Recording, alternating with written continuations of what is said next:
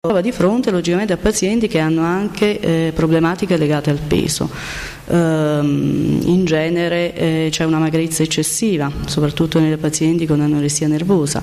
In questo caso il nutrizionista eh, interviene, ma eh, sicuramente in un secondo momento e sempre in una um, eh, collaborazione stretta con lo psicoterapeuta, anche a eh, diciamo, integrare questo peso. Uh, come avverrà? Mm, logicamente non è facile per una paziente che ha problemi, ha disturbi del, comportamento alimentare, accettare un aumento di peso, anzi spesso uh, pazienti con anoressia nervosa lottano con il peso, quindi hanno, anzi eh, il loro obiettivo è quello di raggiungere il peso per loro ideale, che è un peso minimo, è un peso che addirittura eh, potrebbe portarle alla morte.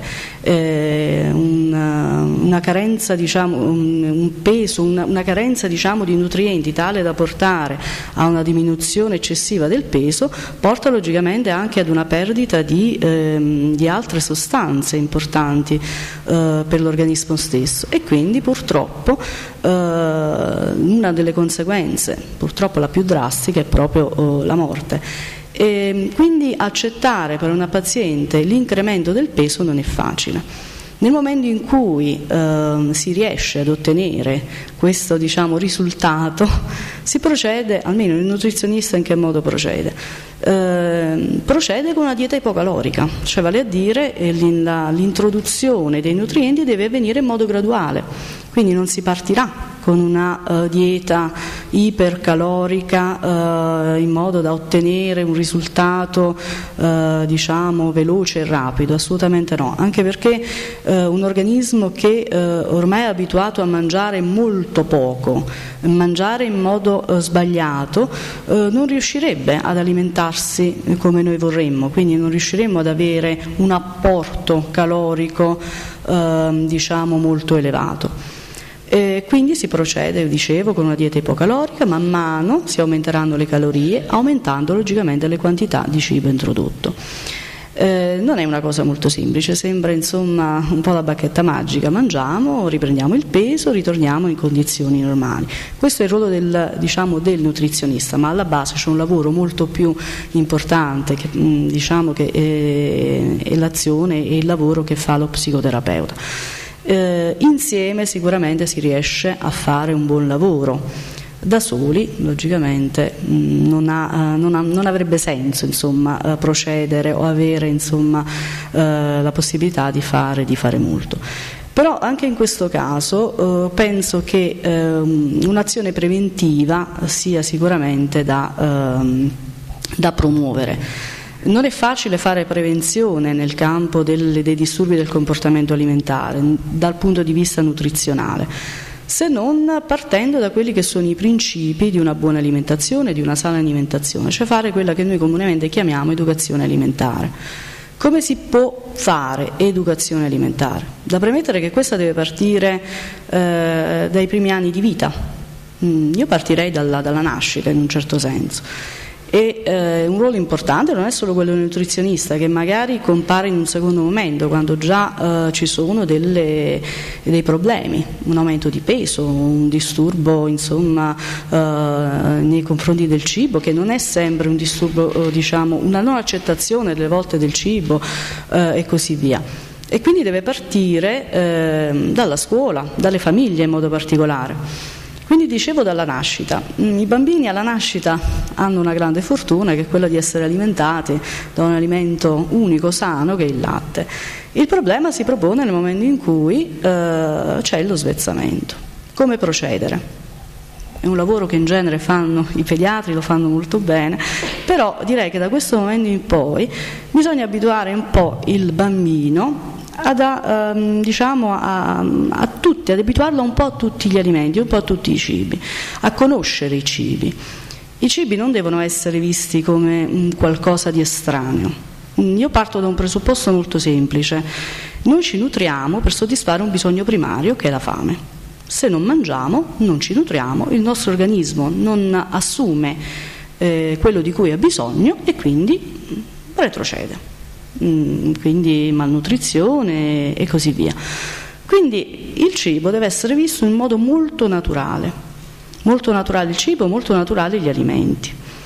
I, I ragazzi vanno abituati ad un'alimentazione sana, ha delle regole sicuramente, ma non regole di orari, mangiare eh, colazione alle 8, eh, pranzo all'una e così via. Non, le regole non, non, sono delle regole rigide, ma sono delle sane abitudini.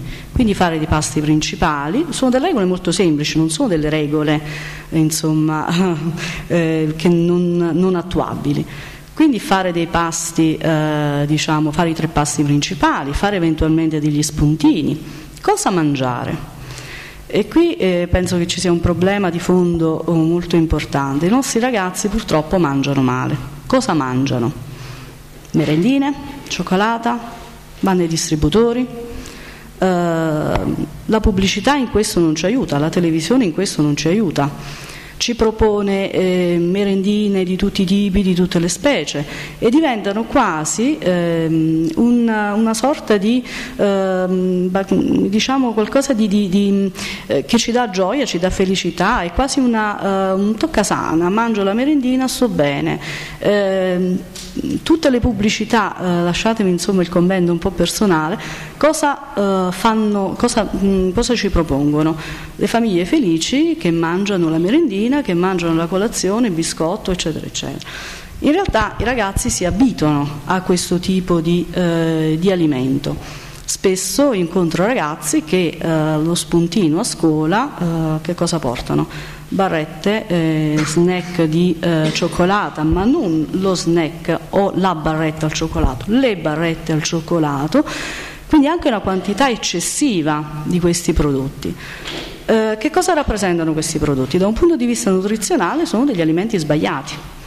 Eh, cosa contengono? Per la maggior parte zuccheri semplici eh, grassi di tipo idrogenato, che sono i grassi da cui poi nel nostro organismo viene prodotto il famoso colesterolo, eh, coloranti, conservanti, quindi tutto ciò che in realtà, di cui noi non abbiamo bisogno. Abbiamo bisogno degli zuccheri, ma li possiamo trarre da altri alimenti più sani. Abbiamo bisogno dei grassi sicuramente, ma di grassi ce ne sono di vario tipo. Quindi abituare i ragazzi ad uno stile di vita completamente diverso. Un altro problema che spesso i nostri ragazzi hanno è quello di mangiare in momenti sbagliati. Quando mangiano i nostri ragazzi? Davanti al televisore, seduti sul divano, a giocare alla PlayStation e così via. Questi sono tutti comportamenti che dal punto di vista nutrizionale sono sbagliati. E c'è anche un altro discorso da fare. Ehm, eh, parlavamo dei disturbi del comportamento alimentare che sono sicuramente eh, oggi aumentano in modo anche vertiginoso. Eh, ciò che è aumentato negli ultimi anni è anche l'obesità infantile. Purtroppo nostre, la Campania, che è la mia regione, io sono della provincia di Salerno, ha un triste primato in questo, in questo, in questo senso. Altri errori che se vogliamo noi, pongo io anche come genitore, spesso possiamo commettere anche involontariamente, dare al cibo un ruolo diverso da quello che in realtà ha. Vale a dire, spesso usiamo delle frasi, eh, dei luoghi comuni, eh, questo fa ingrassare, questo fa dimagrire, quindi va bene, questo cibo ti fa bene, mangialo, questo cibo ti fa male, non mangiare. In realtà ridurre il tutto a fa bene, fa male non è una cosa eh, giusta. Eh, prima di tutto bisogna puntualizzare eh, la quantità. E, mh, mm, spesso ehm, da ragazze che incontro e che comunque instauro con loro un dibattito, eccetera, un colloquio, mi sento dire non mangio le patate perché fanno ingrassare, mangio la verdura perché fa dimagrire. In realtà entrambe le frasi sono sbagliate man, si possono mangiare. Spesso c'è questo, eh, diciamo, um, questa visione del cibo appunto di, di un particolare cibo che è uh, sbagliata. Uh, prima di tutto bisognerà portarla alla quantità. Se mangerò un do, una torta intera starò male prima che farmi male, eh, prima che eh, farmi eh, prendere peso, tra virgolette. Se mangio una fetta di torta non mi può succedere nulla se mangio l'insalata non dimagrirò, sicuramente faccio qualcosa di positivo, ma non posso dimagrire mangiando solo ed esclusivamente la verdura. Quindi bisogna un po' ehm, di, ehm, in qualche modo evitare questi luoghi eh, comuni riguardanti eh, il cibo.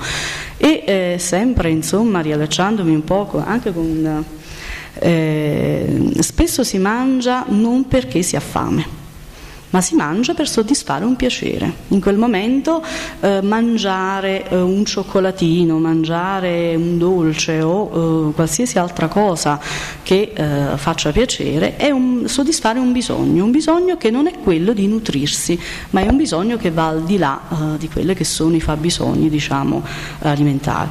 Quindi per quanto riguarda la prevenzione, si può fare molto partendo da piccoli, partendo da quello che è il ruolo della famiglia e poi anche della scuola, educare i nostri ragazzi a mangiare in un certo modo, a mangiare in modo sano, a mangiare in modo variato. Questa è un'altra cosa che spesso eh, i nostri ragazzi non fanno, mangiano abitualmente le stesse cose.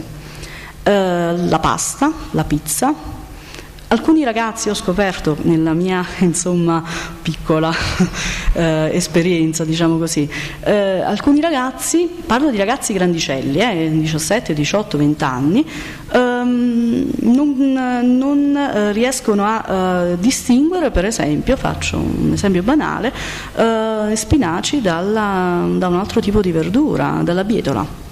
Alla domanda cosa preferisci mangiare?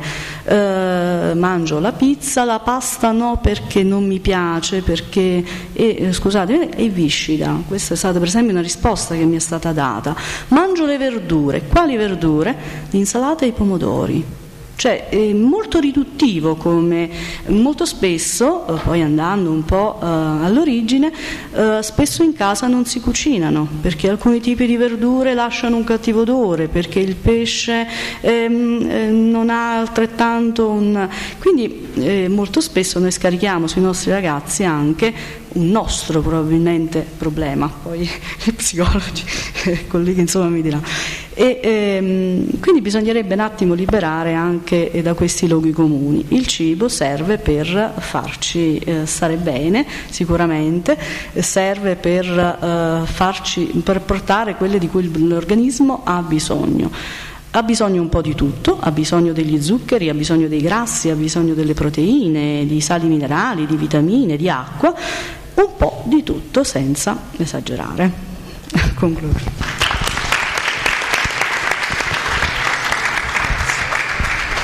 Ringraziamo la dottoressa e invitiamo sul palco per un altro momento di drammatizzazione Ivana Anania.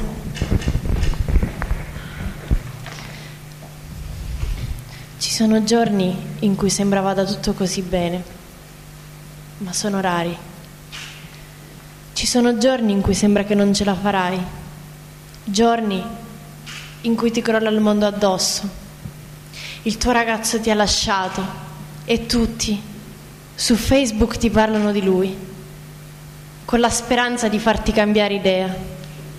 Ricorda che nella vita ci sono persone, ci sarà un buon 50% di persone che ti dà la forza di andare avanti ci sarà un 30% di persone che ti illuderà, il 15% che prenderà i tuoi sogni e li calpesterà e solo il 5% che ti darà la forza di andare avanti. Ci sono quei giorni in cui tu pensi di fare agli altri la stessa cosa, ma poi, quando la fai, diventi come loro. Ricorda che ci sono persone che soffrono più di te. Quando senti che non ce la farai, stringi i pugni, affronta la battaglia, quella con te stesso.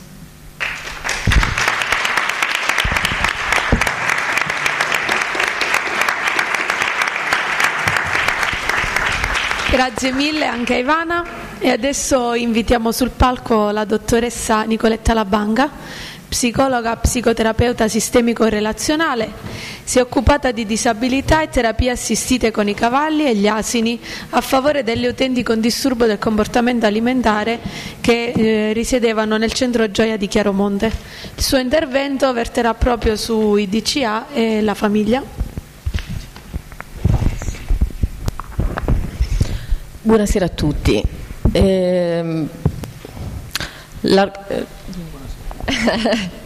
E, diciamo che eh, credo sia doveroso fare una, una premessa eh, su alcuni dati. La, la, dottoressa prima accennava alla enorme diffusione di questo fenomeno.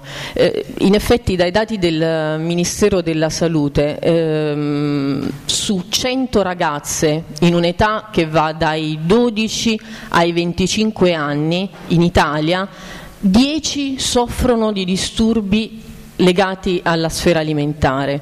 Eh, di queste una, due di forme diciamo, importanti di anoressia o bulimia, le restanti otto di eh, forme cliniche diciamo, più transitorie e meno complesse.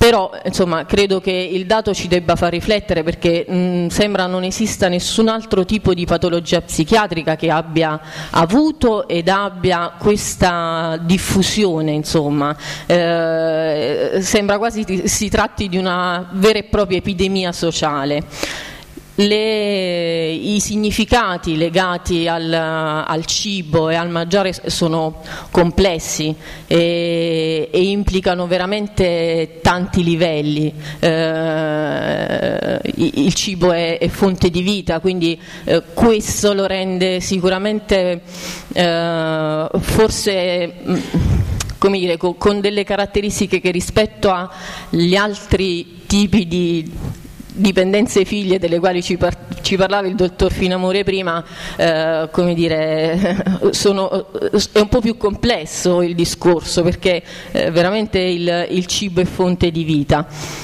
sebbene io condivida molto il discorso eh, insomma, più ampio che si faceva su, sulle dipendenze.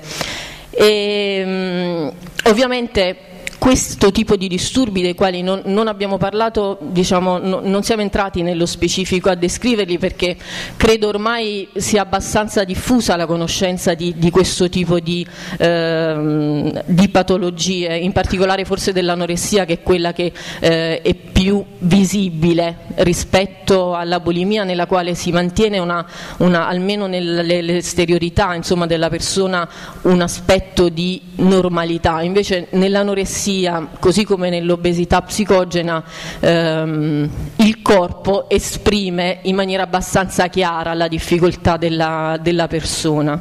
E, ehm, ovviamente non sono assolutamente patologie che hanno a che fare con un'eccessiva fame o con una mancanza di fame, cioè non stiamo parlando di eh, problematiche ehm, fisiologiche ma si tratta di patologie che esprimono una sofferenza psicologica notevole che investe aspetti effettivamente decisivi sul piano della costituzione dell'identità della persona e che quindi eh, non possono non trovare un riferimento anche nella famiglia di quella persona, che è il primo eh, fondamentale contesto di riferimento per ognuno di noi. E, mm, anche perché eh, insomma, eh, come ci, ci, suggerisce un, un, autore, eh, un importante autore, Václavic, un fenomeno spesso resta inspiegabile fin quando non riusciamo ad allargare il campo di osservazione al punto da includere il contesto nel quale quel fenomeno si verifica. E proprio perché la famiglia è il contesto nel quale la patologia emerge, come vi dicevo, tipicamente nella fase dell'adolescenza, è utile far riferimento eh, ad essa. Eh, che le patologie alimentari dire, siano correlate a dei difetti, diciamo, delle difficoltà nelle relazioni le, eh, nelle reazioni cosiddette primarie, comunque con i genitori o con le persone che per prime ci accudiscono quando veniamo al mondo, è un dato acquisito.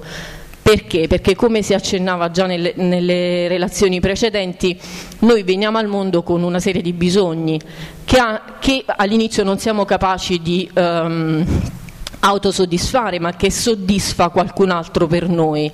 E eh, in questo processo noi eh, piano piano acquisiamo la conoscenza di quali sono i nostri bisogni e delle modalità corrette di soddisfarle.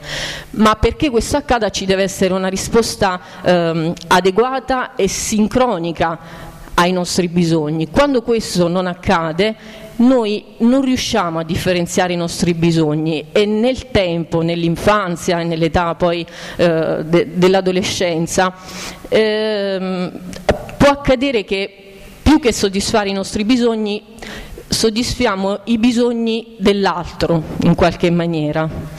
E, e ovviamente questo eh, ci porta a non capire chi siamo davvero, eh, a non differenziarci come persone. Diversi autori insomma, che, che, che non, non, so qui a, a, a citare mh, sostengono quello che, che, vi sto dicendo e che porterebbe che porta in molti casi e chi ha avuto a che fare con persone con questo tipo di disturbi lo sa bene alla costituzione di, un, un'identità eh, falsata un falso sé in termini tecnici lo, lo si definisce. E, è come se la persona ehm, nella definizione di se stessa dovesse fare riferimento sempre all'altro e alla relazione con l'altro e quando quella relazione non è funzionale la persona ovviamente eh, come dire, viene fuori in, in maniera negativa. E, quindi volendolo riassumere fortemente il problema dei disturbi alimentari è riconducibile ad un problema di differenziazione mm, della persona, di capacità di trovare un'individualità a sé stante, che è poi il compito principale che dovrebbe avere ogni famiglia sana, nel senso che dovrebbe aiutare i propri membri a diventare se stessi nella loro diversità, nella storia comune evolutiva della famiglia, ma nella propria diversità. E questo spesso non accade non per cattiveria, voglio dire, o eh, per incapacità, per incuria dei, dei genitori, ma perché nelle, nelle, nell'evoluzione della, della famiglia, nel ciclo vitale della famiglia che ha delle fasi che attraversano diciamo, tutte le famiglie, eh, si verifica un arresto del processo evolutivo che riguarda il singolo ma riguarda anche gli altri. E, mh, quando, si, quando, si, determina questa condizione, in genere a livello della generazione dei figli emergono delle difficoltà più o meno importanti a seconda della durata di questo stallo e della profondità delle difficoltà dei vari membri della famiglia. Ora, io mm, non voglio dire anche perché sarebbe arbitrario che ci sia eh, una famiglia tipica della persona che soffre di disturbi del comportamento alimentare, perché non è così, eh, lo, lo, si vede insomma dalle osservazioni cliniche de, delle famiglie che, si, che, che io ho incontrato, ma che nella letteratura vengono riportate. Però dai, da numerosi studi emerge invece una tipicità di alcune delle famiglie che hanno questo tipo di difficoltà, cioè delle caratteristiche che ricorrono di frequente. E io ve ne, vi accenno a due di queste e sono una, um, l'abilità dei confini tra le persone e nelle generazioni all'interno della famiglia, cioè tra genitori e figli o proprio tra tutti gli individui, per cui praticamente c'è confusione delle funzioni e dei ruoli che ci dovrebbero essere all'interno della famiglia, padre, madre e figli e eh, si parla in, in, termini tecnici di famiglie invischiate o volendo utilizzare un'altra metafora di famiglie con le porte aperte perché? Perché c'è la tendenza mh, da parte di, de, dei membri di queste famiglie in qualche maniera ad intrudere nei, nei pensieri, nei comportamenti, nelle azioni o nella comunicazione degli altri membri della famiglia e da questo si origina la necessità eh, estrema poi delle persone che soffrono di disturbi del comportamento alimentare di controllare il proprio corpo o comunque parti interne di sé perché è l'unico eh, spiraglio che loro trovano in qualche maniera e sul quale sentono di si illudono di poter avere un controllo. E così come questa ehm, non definizione dei ruoli impedisce l'assunzione di un'identità, ehm, per esempio di, un, di, una definita identità sessuale ehm, nelle ragazze che soffrono di questo tipo di disturbi e che invece l'età che loro vivono dovrebbe comportare. Un'altra caratteristica di frequente riscontro è l'evitamento dei conflitti, nel senso che ehm, in queste famiglie è come se venisse impedito, eh, impedita ogni manifestazione di disaccordo. E questo di fatto impedisce quella che prima dicevamo la differenziazione, perché io nella possibilità di dire quello che penso, ehm, al di là che questo sia in accordo con quello che pensa l'altro nella famiglia, mi permette di definirmi e di definire la nostra relazione. Quando questo non è possibile perché è fonte di sofferenza la, di, la differenziazione, no? eh, e quindi io la, la devo tenere, come dire, non, non esplicita, e, beh, questo eh, dire, rende quel processo di, ehm, di, autonomia, di autonomia difficoltoso. E perché i problemi poi scattano in adolescenza? Perché è esattamente in quel periodo che l'individuo eh, sente forte l'esigenza di capire chi è e di definirsi al di là della famiglia. E, ed ecco perché allora questa estrema protesta no, di, di, chi ha un, un, disturbo del genere, che è un tentativo sofferto e a volte disperato di differenziarsi, ma che rimane protesta alla fine muta, eh, come dire, confinata comunque nell'implicito, nel non detto, nel corpo, non, ha, mm, non trova capacità di espressione. E, ehm, Diciamo che molti autori si sono interessati al lavoro con le famiglie, eh, non, senza entrare nel, nel, nello specifico, però un'altra, giusto un'altra considerazione che mi premeva fare era che ormai si è concordi diciamo, nel, um, nel definire questo tipo di disturbi e l'origine di questi disturbi eh, come dipendente da più fattori e pertanto questo richiede per poterli affrontare una, un, eh, un altrettanto impegno multidisciplinare da parte di più professionisti. Mm, non c'è quindi un ordine di motivazioni esclusive. Io stasera vi ho parlato in maniera fra l'altro così molto ehm, semplice e ristretta dell'aspetto della, del, delle implicazioni della famiglia in questo tipo di disturbi, ma ovviamente eh, ci, sono, ci, possono essere motivazioni sul piano organico, eh, ma comunque non possiamo parlare di malattie esclusivamente né di malattie genetiche, né di danni all'ipofisi, né di lesioni del centro della fame, così come non possiamo parlare di motivazioni esclusivamente psicologiche o legate alla famiglia, né tantomeno possiamo parlare di eh, problematiche legate solo alla cultura, ma sono tutti, o meglio, mh, mm, è dall'insieme di questi fattori che in alcune persone eh, si determina lo, lo, la genesi e il mantenimento uh, di questo tipo di disturbi e quindi ribadisco per, per affrontarli nella maniera corretta credo sia indispensabile un intervento a più mani, a più voci e a più cuori. Grazie.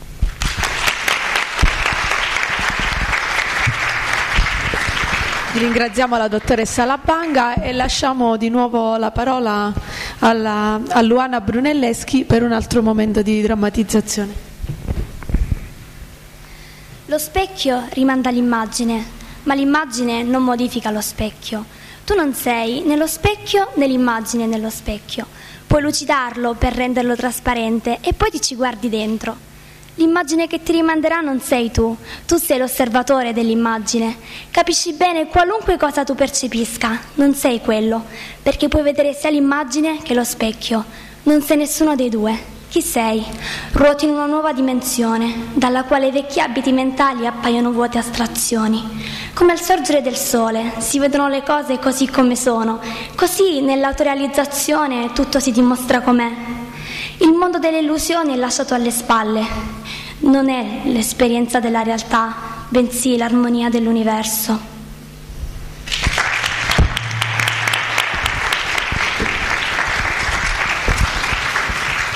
Ora lasciamo la parola alla dottoressa Maria Pia Papaleo che oltre a essere l'insegnante di queste ragazze è counselor ed esperta in arte terapia e ci illustrerà quelle che sono le possibili applicazioni dell'arte terapia nei disturbi del comportamento alimentare. Che cos'è la teatroterapia? La teatroterapia è una messa in scena dei propri vissuti eh, all'interno di, di, un gruppo col supporto eh, che si prende un po' dall'arte del teatro. Ma sono due cose perfettamente eh, sono diverse, perché nel teatro noi abbiamo il copione, abbiamo delle tecniche, la tecnica della memorizzazione con i suoi ganci e poi intorno la scenografia, i costumi, eccetera. Per la teatroterapia invece è qualcosa di diverso perché innanzitutto si usa l'improvvisazione. Teatroterapia perché? Innanzitutto terapia del benessere. Tutto ciò che ci porta benessere eh, può eh, far capo alla parola eh, terapia. E, ehm, la teatroterapia è usata in vari ambiti, eh, innanzitutto quello sociale, eh, per la socializzazione eh, dei gruppi eh, da un'età che parte da, dai bambini della, della, scuola elementare fino ad arrivare a, alla terza età. Anche usata nell'ambito, nell'ambito eh, clinico eh, per quanto riguarda ehm, il TCA il, per i problemi dell'alimentazione di cui stiamo parlando stasera oppure altri problemi patologici eh, e clinici, eh, depressioni eccetera. Oppure la teatroterapia è usata anche come come socializzazione nei, eh, nei carceri eh, e in altre strutture. Ehm, questa sera io vi volevo parlare proprio eh, della teatroterapia intesa come benessere. Che cosa significa questo? Significa che ehm, usa, la, la, teatroterapia usa come strategia il teatro. Eh, perché? Perché si è visto che eh, portando un personaggio e c'è un'introspezione, uno, uno, scavare dentro di noi e mh, molte volte eh, quello che non si riesce a dire a parole eh, si riesce a dire con un non verbale, con ehm, il simbolo, con la postura, la gestualità, la, la corporeità. La teatroterapia è vista come una via privilegiata di accesso proprio alla, alla nostra psiche, eh, per cui verranno fuori tutti quei, quei, quei, dolori che noi reprimiamo dentro, perché molte volte siamo condizionati dai, dai, cliché, dai cliché sociali. E, ehm, che cosa succede? Succede che il, il soggetto eh, si trasforma nell'interpretare il personaggio eh, capisce che ha una possibilità di cambiamento e questa è, è, la cosa più importante per la costruzione del sé che in alcune patologie è, è come scisso, come eh, separato ci sono delle emozioni avversative, per cui queste, queste emozioni eh, devono saper essere gestite, eh, consapevolizzate prima e gestite dopo e quindi si ha poi il, il processo di, di, cambiamento, la possibilità di cambiamento. Insomma è una possibilità di esplorare se stessi, perché ehm, scavare dentro se stessi eh, in questi casi è quanto mai importante. E, ehm, inoltre aiuta la persona a prendersi cura di sé, perché molte volte noi non ci prendiamo cura di noi stessi. E, e, ehm, mette la persona in contatto con il proprio corpo perché è proprio dalla scissione di psiche e di corpo che eh, ci sono poi queste patologie, patologie di cui parlava la dottoressa e quindi mette in contatto la psiche e il corpo per un'unificazione. Il teatro un, um, in questo caso è un percorso conoscitivo ed un percorso evolutivo. E ehm, ripeto non, non, è sostitutiva di una cura eh, quella fatta in ambito clinico eh, assolutamente ma soltanto funge da supporto da rafforzo. E, mh, gli obiettivi eh, del modulo, perché poi il dottor Chiacchio vi presenterà questo modulo, saranno proprio quelli di eh, fare indicazione sui metodi della teatroterapia in questi vari ambiti, eh, diciamo un po' unendoli anche all'utilizzo ehm, di diverse modalità espressive in ehm, comunanza poi con, con, la base fenomenologica ehm, esistenziale che poi è propria di alcune strategie, di alcune scuole come la, la Gestalt. E, ehm, ci saranno dei laboratori eh, teorici esperienziali perché eh, la teatroterapia si fa innanzitutto come, come esperienziali, come, come, laboratori. Quello che avete visto è il frutto proprio di un laboratorio fatto eh, a scuola, eh, loro mh, sono soltanto eh, dei portavoci, portavoce di un laboratorio che è stato fatto su, sul biennio, due classi, 50 persone. E, mm, in, questo, in, questo, laboratorio che si farà eh, durante questo eh, questo, questo, master eh, saranno coinvolti i soggetti stessi. L'ambiente ehm, della teatroterapia è un ambiente protetto, protetto perché innanzitutto non si è giudicanti, quando si fanno questi laboratori non si è mai giudicanti e, ehm, e la prima cosa è l'accoglienza, l'accoglienza dell'altro e poi l'empatia. Eh, che cos'è l'empatia? L'empatia è condividere i dolori dell'altro, entrare nelle, nei dolori dell'altro eh, rimanendo però eh, nelle proprie scarpe, cioè avendo quella eh, freddezza necessaria perché altrimenti eh, non si può dare il suggerimento, non consiglio perché i consigli non si danno mai, ma il suggerimento all'altro affinché guarisca. Grazie.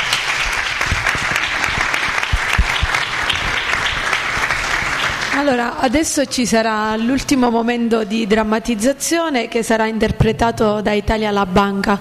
Nel frattempo, dato che insomma, dovranno preparare qualcosa, volevo ricordare che i testi che le ragazze hanno recitato qui stasera